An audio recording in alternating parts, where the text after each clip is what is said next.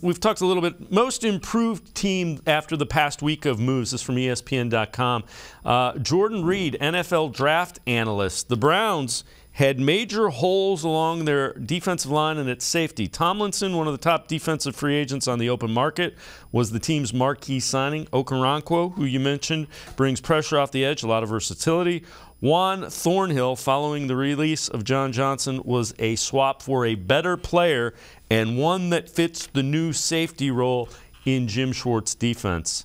Um, I agree with that. I, I, think they've done a really good job, uh, and I'm with you. I, I, think the the last piece to that puzzle, um, aside from depth, they need somebody that is that threatens the defense both horizontally and vertically.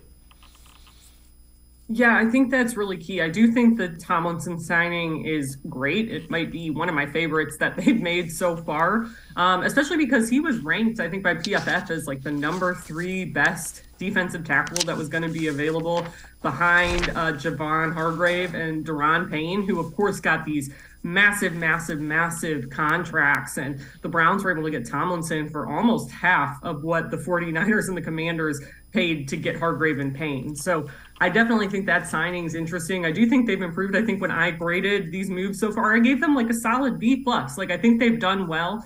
I still think you really need to address receiver. Um, I might bump that up to like a B or a B plus because I gave them a B minus before Juan Thornhill got here. Um, so they've addressed starting safety. I still think you really need to do something about receiver, and I'd like to see them bring in one or two more pieces along that defensive line that you know are going to be able to contribute and play right away. Yeah, I'm with you. The the I wanted the numbers at defensive line as opposed to one big guy because it, I, I, didn't feel like this line was one player away um, for, from being where they need to be if you want to um, if you want to go deep in the playoffs. So I'm good with uh, with adding a lot of them.